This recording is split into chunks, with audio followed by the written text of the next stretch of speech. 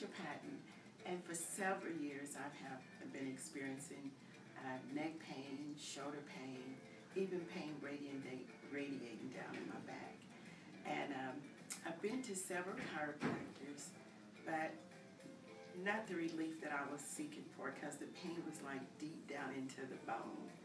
So I went online and I saw, uh, I Googled my symptoms, and that was sore neck and shoulder pain slash acupuncture, and it brought up Dr. Charbel.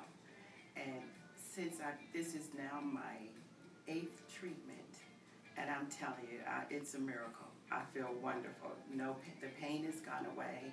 The exercises that he has incorporated into the treatment has worked excellent for my neck and my shoulders. So I would recommend him highly to anyone that's having any kind of neck, shoulder, back, any kind of muscle pains. Call Dr. Charbel.